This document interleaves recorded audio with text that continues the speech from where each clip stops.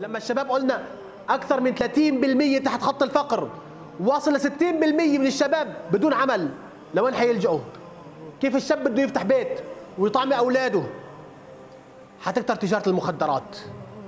ولبنان بسم الله ما شاء الله متصدر لزراعة المخدرات والحشيش.